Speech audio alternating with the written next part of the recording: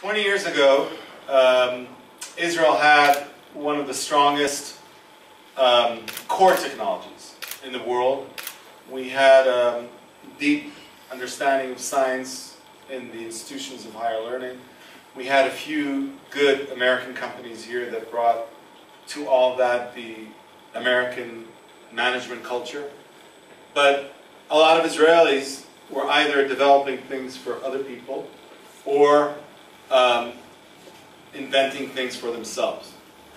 And then um, something happened. Um, actually, it was the government. Two, two major, two major cataclysmic events happened. One, we had uh, a million people that came to us with no jobs from the former Soviet Union, and um, we needed to think of what it is they're going to work at and what it is that can be done.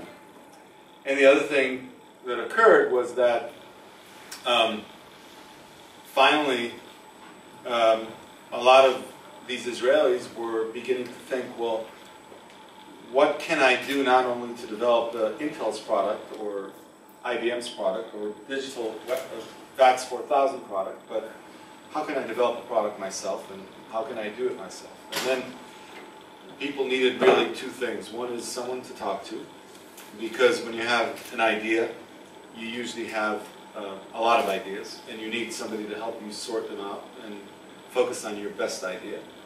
And the other thing that people needed was a, a little bit of money to start. And that was called venture capital.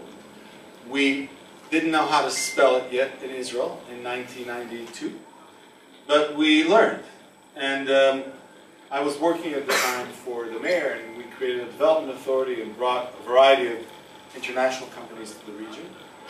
But I think that when venture capital was offered, um, it was a big change that suddenly brought together a lot of these capabilities into a real business that had some international aspirations.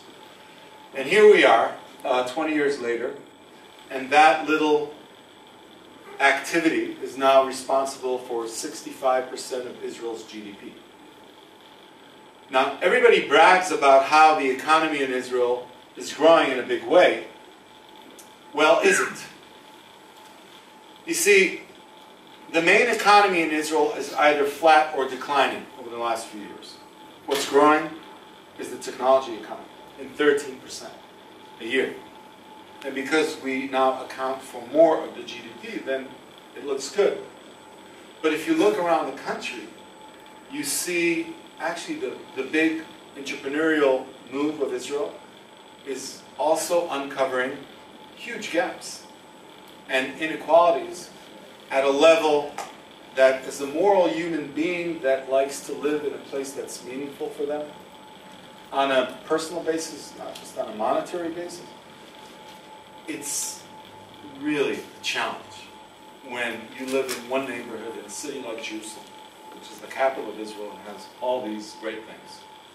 And then 400 yards from your home, you have kids that are not bringing sandwiches to school. And then in the far north, you need to wait 24 months for MRI. Even though it's the Galilee, it's probably one of the most beautiful places in the world. Or in the far south, you um, it's like people that uh, live in a different era. And the interesting thing that I think a lot of political leaders still don't get is that the politics of problems is a, is a politics that reinforces itself. And if you bring to a lot of these communities the politics of opportunity, then suddenly you see huge opportunities that these communities have. Yesterday we had the biggest conference that was ever held in Israel for ultra-Orthodox entrepreneurs, the guy that was presenting before. In Israel they were labeled as people that were behind and are not with the program and are behind. And in a place like Jerusalem, the fact that a lot of them were not involved in the economy or not involved in the economy creates a huge burden. The Arab community in Israel, not the Palestinians in West Bank, but the Arab community in Israel, uh, a lot of people are used to talking to them through the lens of a problem. They don't have enough this, enough that.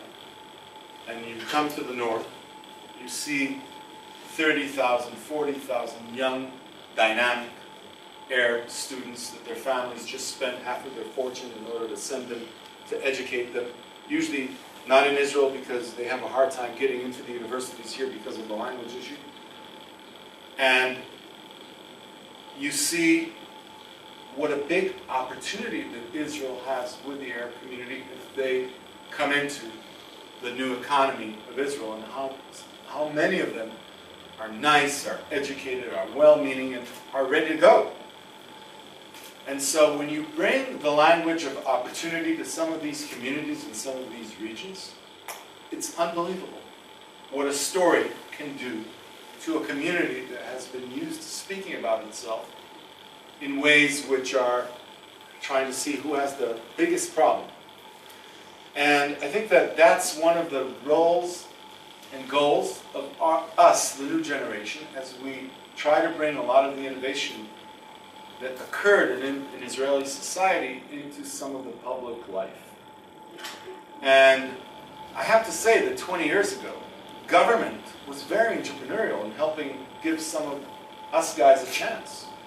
The technology incubator programs that was set here in Jerusalem first, we created the four incubators for the Russian immigration, was something that was a role model for the country. And a lot of the immigrants from the Soviet Union, even though they, the former Soviet Union, when they came here in the beginning, I remember a project in our software incubator, and that we found that these guys were working on the advancement of the performance of the engine, engine of the T-72 tank. Commercial. There's a lot of tanks. I said, guys, this is an amazing science project. But how many clients do you think you're going to have? And so a lot of these guys came very smart and were migrated into some of the new technologies that are more commercial oriented.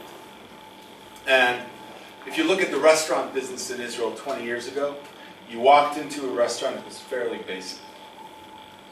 You walked, you, you watched TV, you had one channel. So the communication business in Israel had a big revolution. Almost, in the high tech, of course, almost every sector in Israel was revolutionized over the last 20 years. Yes, a lot, yet a lot of the political discourse is still very old. It's like rustic pipes, you know? When you open it up sometimes in faraway countries and you see that the waters are a little brown. And I think that today there's a big chance in Israel in general, in public life in general. I think there's going to be a big shift from the thought that the central government is going to drive a lot of these changes. I think most of these changes are going to be driven by a partnership between local governments, local leadership that are strong and innovative and are willing to listen and willing to explore, and the business community in these areas, people that have a passion about their city, their region, their place, like here, and the younger generation, the students. And the social protest in Israel, which was a mainstream event, it was a cry for social opening up of, of, of, of a discussion between government and society, was, was a great awakening call that I think only in the next two or three years we'll see the results. And that is when they're involved, not only in the outcry, but also in the constructive discourse, there's going to be big change in Israel. And I think that for many of us who have been perhaps fortunate in some of these endeavors, as we come to be involved in our region, our city, our community, um, Israel has a chance of jumping ahead in a big way, in a way that's much more inclusive. Because Israel is the fastest growing country in the OECD but it's also the country with the biggest gaps in society. And with 36.6% of our kids under poverty line. Musha. I'm ashamed as an Israeli, as somebody who's, you know, in the Knesset. I'm ashamed. I, I, it, it takes away my ability to sleep well at night. And I think for a lot of us, it's, it's crazy. And so I think the biggest engine of growth, the biggest engine of creativity, the biggest renaissance of different regions, of different communities in Israel in the next 10 years is yet to come. It involves a commitment, it involves the internationally of the discussion because now we're doing something in Beersheba in cybersecurity, probably told you. The international discussion is amazing. Now we're, we're going to be embarking on Kiryat Shmona and the region there in food and agriculture and biotechnology.